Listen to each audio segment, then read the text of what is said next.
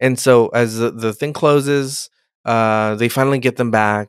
And then Riker comes in. He's like, Riker's f***ing scared as shit, dude. He's like, two fucking Rikers, dude. I could barely stand myself, dude. Imagine another one. And he comes in and he's fucking upset, dude.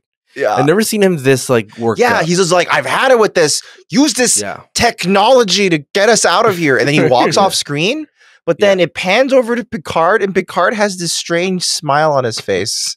Where Picard Yeah. is like, Yeah, I finally got him, or something. Yeah. I don't understand why he's smiling because it makes it seem Picard is super sinister or something. Yeah. And he's the one actually doing all this.